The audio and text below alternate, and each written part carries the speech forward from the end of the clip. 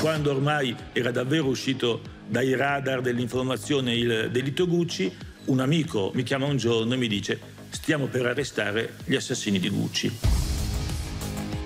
Venerdì 31 gennaio all'alba, erano le 4 e mezza del mattino, detti il via eh, agli arresti. L'arresto di tutti gli imputati avviene simultaneamente, non sanno chi è stato arrestato. E quando finalmente le indagini si sono rivolte verso di noi e mi sono venuta ad arrestare, mi sono sentita liberata perché sapevo che comunque era il mio giusto castigo.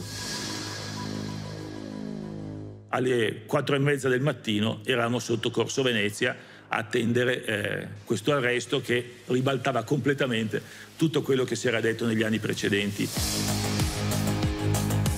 Raggiunsi l'abitazione della Gucci. Io non pensavo che mi avrebbero beccato.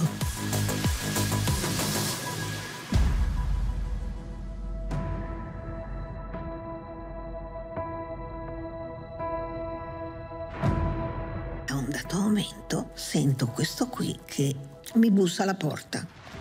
E allora io esco con tutti i miei cosini così, tipo così, e mutandine, e dico, ma cos'è un'invasione?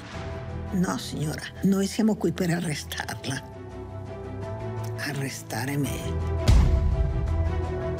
Chiesi alla Patrizia, alla signora Patrizia Reggiani se sapeva il motivo per cui eravamo lì da lei. Lei rispose in maniera molto fredda, sì, per l'omicidio di mio marito. E allora mia figlia, che si era svegliata chiaramente, ma mamma cosa hai combinato? Eh, fatti miei. Aveva indossato tutti i suoi gioielli, eh, una pelliccia vistosa.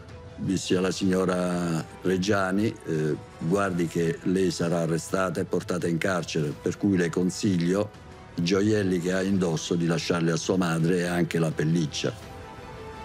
Lei mi disse no, i miei gioielli e la mia pelliccia vanno dove vado io. Salutò le figlie dicendo ci vediamo più tardi, arrivo, arrivo tra un po', mm, restate in casa, aspettatemi.